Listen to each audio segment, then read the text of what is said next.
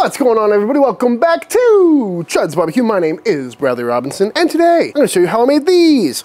Beautiful, delicious, smoky, tender, amazing barbecue birria tacos with a beautiful consomme, of course. Coming up.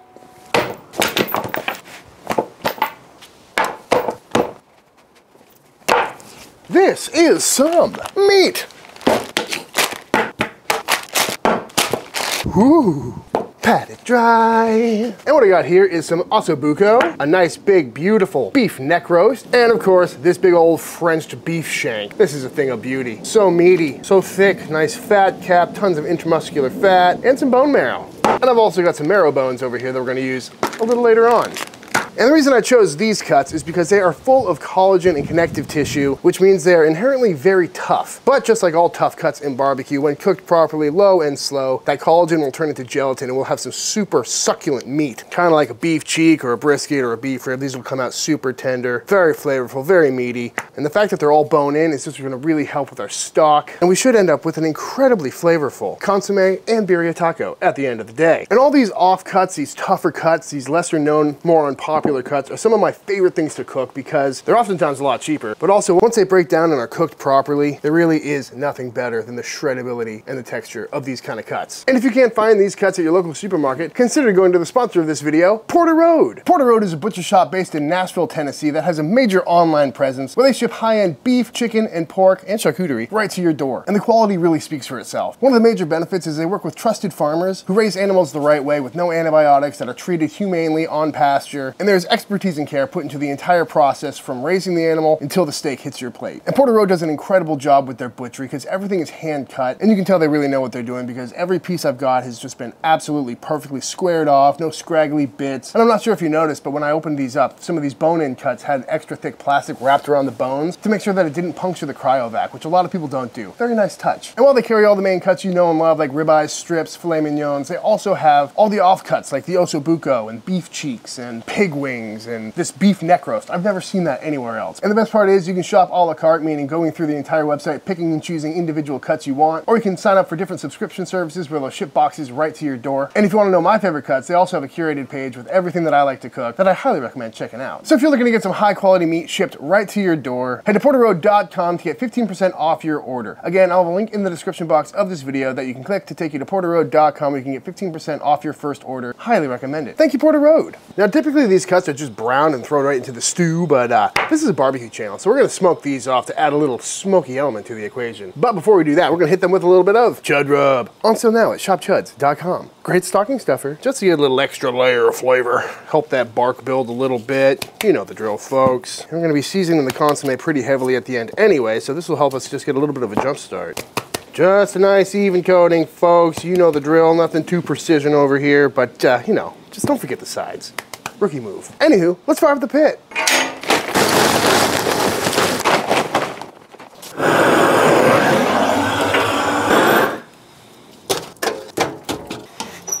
I wish Porter Road would help me butcher that pesky little snake in my boot. And on the pit we go. Now all these cuts are going to finish cooking down in the consomme at the end of the day. So we're really just trying to get some smoke on there, get some nice color, build up a bit of a bark. And you know, the further we cook them now, the less time it'll take them to soften up in the broth. So I'm gonna rock this pit around 275, 300 degrees for the next few hours. It's been several hours and our meat is looking nice and barky. Beef neck looking roasty. Ow. Rocking right around 175. So they're almost done. And in the meantime, let's go ahead and get our consomme started. So into this large pot, I'm going in with a whole bunch of dry chilies. We got some ancho chilies, some New Mexico chilies, some chili de árbol. Going in, we're gonna let those toast off in the dry heat just to kind of wake up their flavors. And after a few short minutes, these are nice and lightly toasted, nothing is burned, so out they come. Next up, into the pot, we're going in with a nice healthy squeezer of some oil, as well as one large white onion, roughly chopped. And once those have cooked down for a couple of minutes, softened up nicely, we're going in with a whole bunch of freshly chopped up garlic. And we don't want that to burn, so we're just gonna cook that for a couple of minutes here before going in with a bunch of Roma tomatoes. After that's cooked down for about five to 10 minutes, into the blender it goes. And just get that nice and blended up.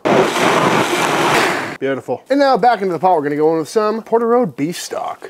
Oh, Oh, how you doing? this stuff is awesome. Nice and gelatinous and thick. You can tell it's made with real bones. And in with our chilies. And we're just gonna let those steam. I really didn't know if that was gonna fit or not. That was awesome. Just gonna let those steam until softened. And once those have softened up, into the blender they go as well. Boop. And then back into the pot we go. Lovely stuff. And then in we go with the rest of our beef stock. Ooh, right in the eyes. And I gotta say, I was fully planning on making my own beef stock for this, but I'm very glad that Porter Road makes some because uh, making stock takes a long time. And this is already a pretty laborious video. While this comes back up to a simmer, we're gonna go in with the rest of our ingredients, including some black peppercorns, a couple of bay leaves, some coriander, two cloves, two cinnamon sticks, some oregano, and some cumin. Also gonna top this off with some water. And once up to a simmer, it's finally time to add in our meat.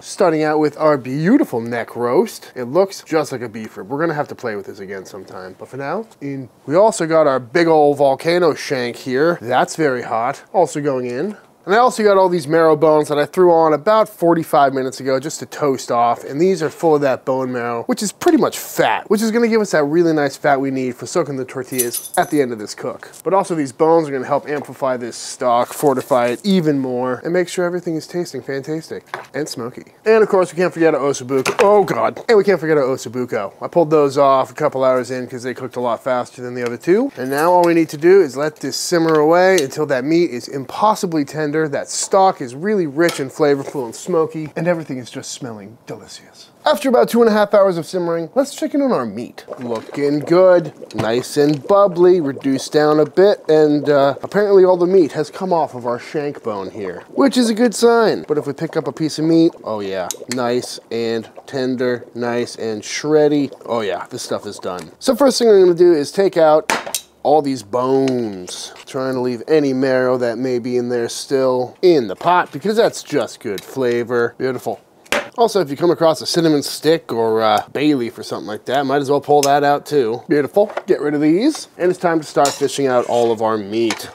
Ooh, yeah. Nice and shreddy, nice and tender. There's another cinnamon stick. It's maybe one of the benefits of barbecuing your cuts. Usually people just throw the meat in raw or with a sear on it. And then after a few hours of simmering, they pull it out and chop it all up or shred it with some forks or something. But uh, after a nice breakdown in the smoker, this stuff is good to go. Beautiful stuff, smells amazing amazing. But I'm just going through, breaking up any of these other big chunks, looking for bay leaves or anything weird, any bone fragments or things that we don't want to eat. Looks a lot like barbacoa. Beautiful. Next up, I'm going to send all this consomme through this strainer here to start cleaning it up a little bit. And as you can see, we got out the remaining bay leaves. I can see a clove in there and a bunch of extra skins from the tomatoes and the chilies and all that stuff that we don't need. And now into the fridge this goes along with the meat and we'll pick this up tomorrow. It is the next day. Ooh. And as you can see, our stock has solidified real nice, but more importantly, all that fat has congealed onto the top in a single layer that we're now gonna scoop off, which is gonna make it easier for tortilla dipping down the road and also give us a really nice defatted, clean consomme. Turns out a strainer works really well for this as well. And there we go, all our fat in this little pan and our nice clean consomme. I spent the last hour or so reducing this down a little bit. And as you can see, it is looking absolutely beautiful, nice and thick, nice and clean too, no fat or foam on top. But now that it's fully reduced, we can give it a taste for final seasoning and adjustment. That tastes so good. But it does still need a big fat pinch of salt, so we're gonna go in there, but the cinnamon and the clove are coming through nicely. The chili flavor is strong, but not too spicy. It just tastes great. Perfect for a cold winter's day.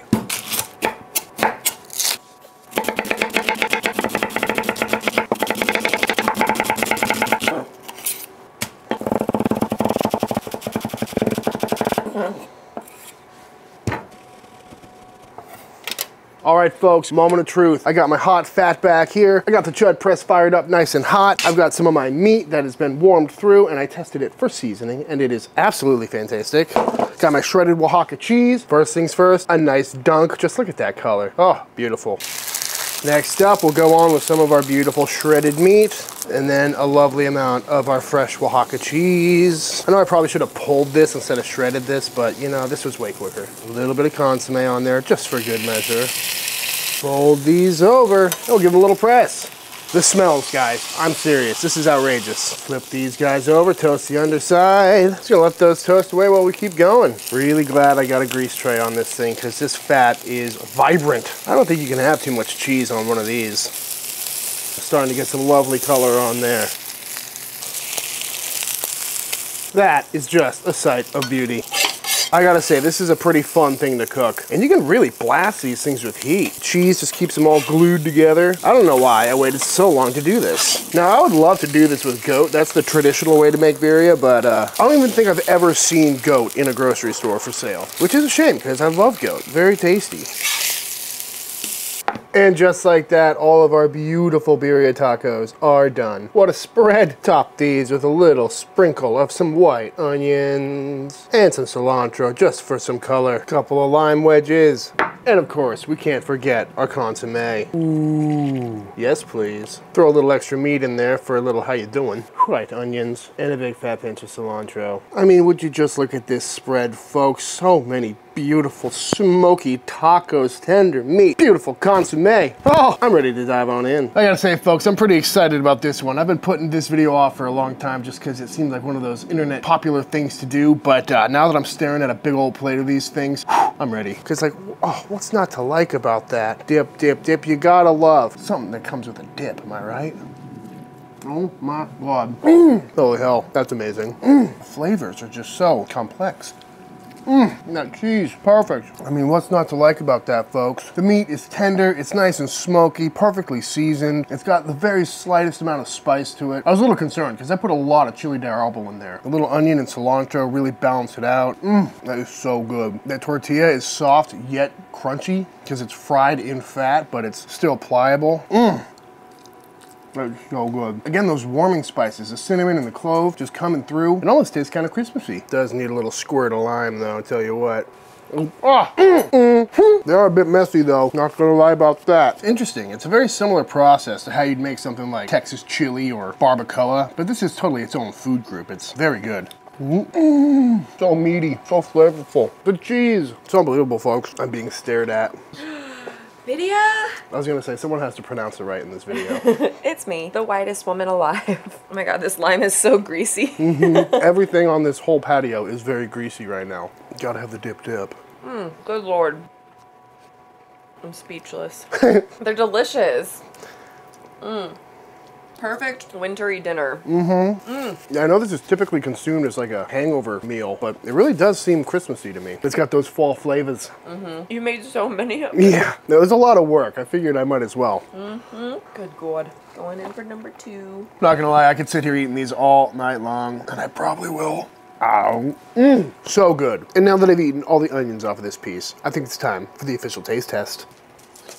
That was weak. Now we gotta do it again. Ooh.